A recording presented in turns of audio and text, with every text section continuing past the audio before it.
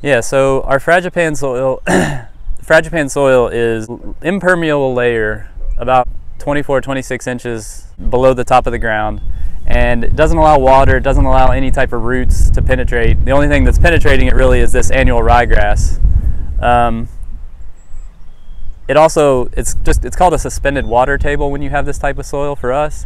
That means when we have saturated rain events or any type of rain, the water can often sit for days and days on top of the ground because there's nowhere for it to go down. It can't percolate.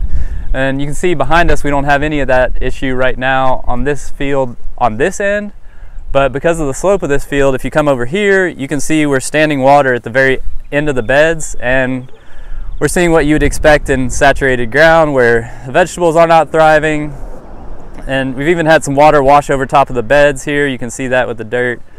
And yeah, it's pretty much a mess. And the main difference here is I've tiled a couple hundred, or I'd say about 75 feet behind us here is tiled, but the end of this field has not been tiled.